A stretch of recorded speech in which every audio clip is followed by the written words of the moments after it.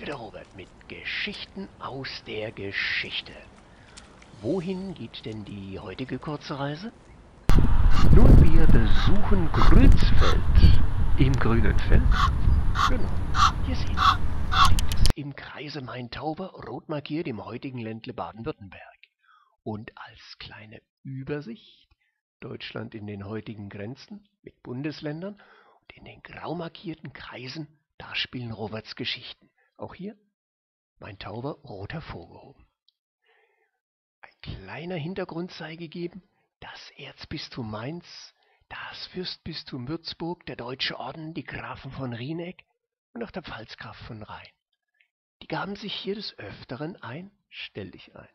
Zoll, Handel, Besitz, alte Wegerechte, Lehensrechte, oftmals überschnitten sich die Grenzen, also keine klaren Verläufe, wechselte auch des Öfteren.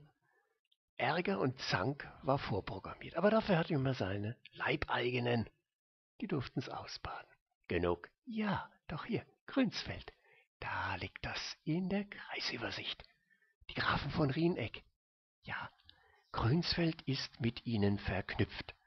Erstmals wird Grünsfeld genannt im Codex Eberhardii des Klosters Fulda im 8. Jahrhundert.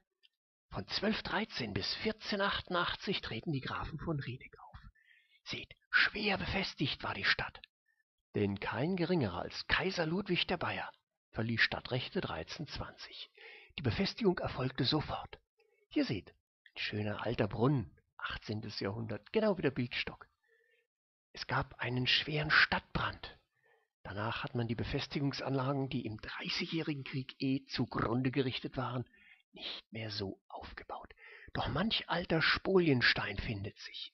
Und wir gehen jetzt nach oben, vom Standpunkt des ehemaligen oberen Tores. Das geht steil hoch. Richtig.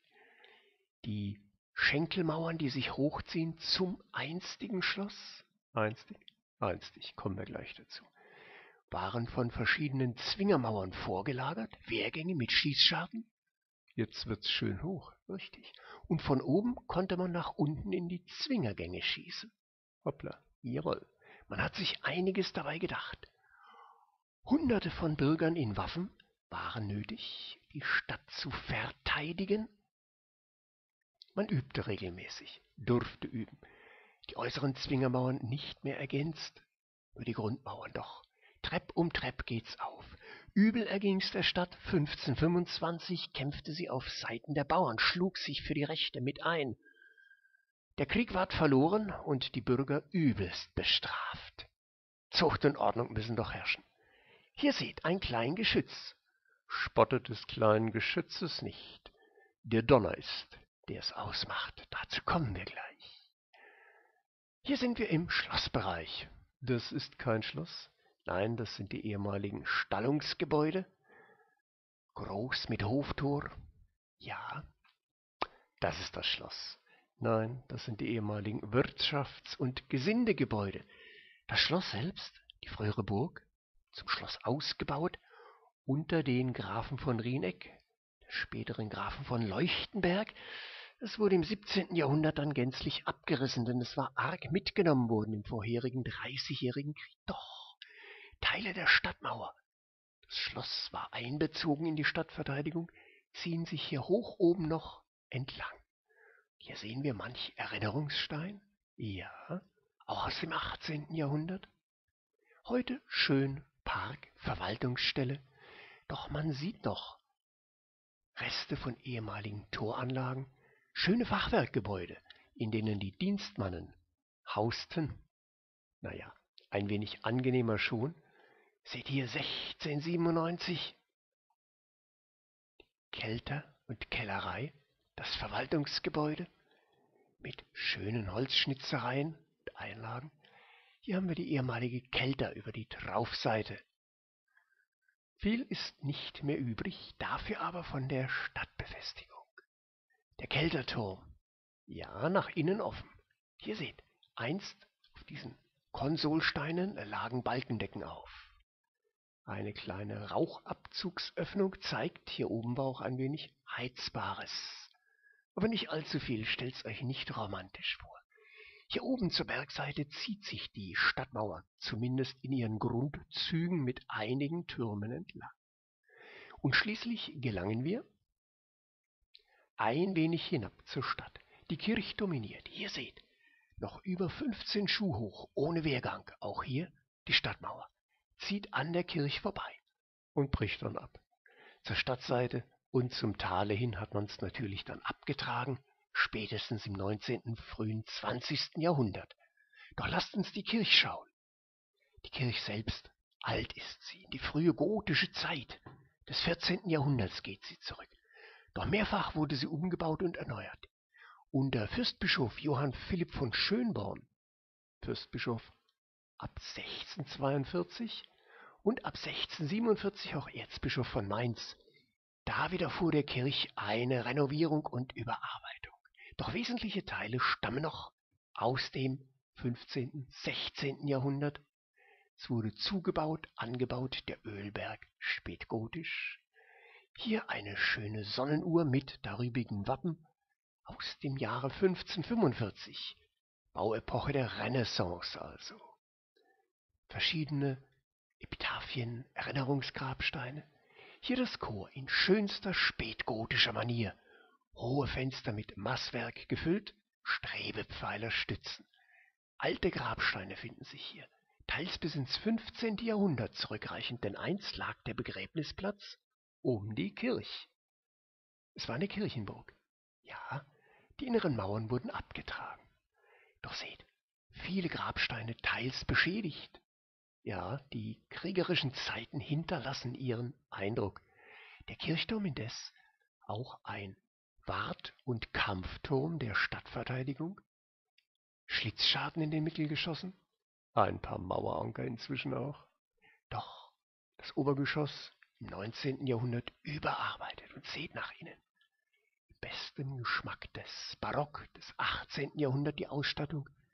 Golden eingelegt die Kanzel, der herrliche Altar im Chor.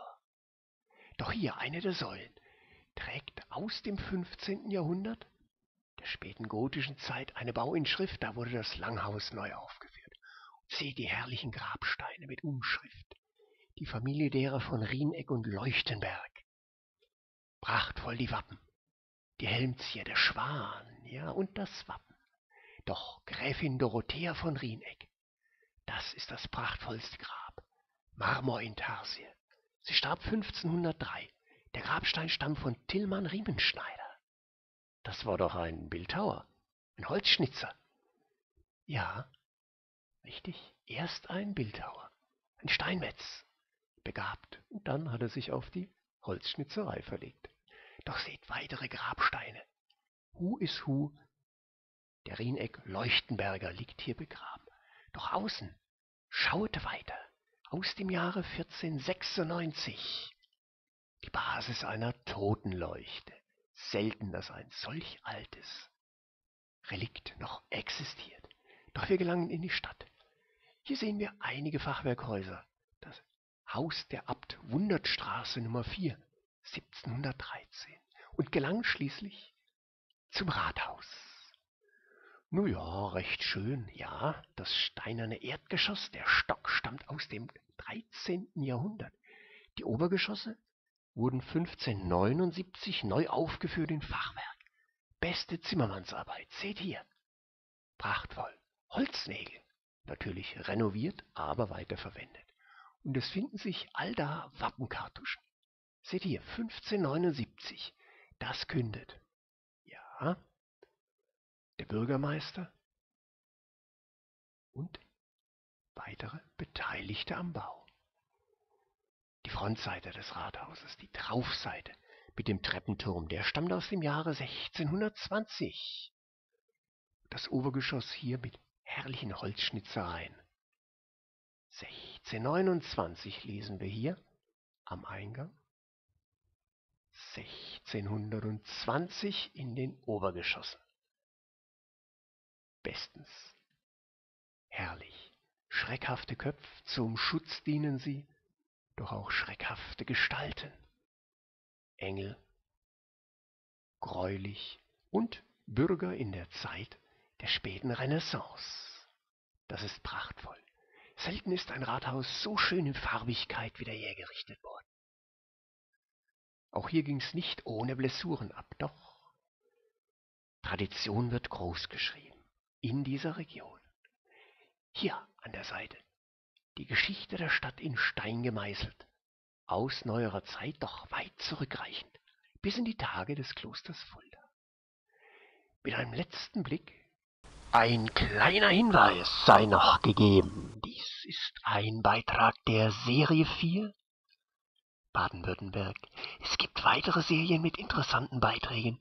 Schaut doch bei Gelegenheit mal rein. Hiermit hat diese Geschichte ihren Abgang erreicht. Und wir sagen Danke.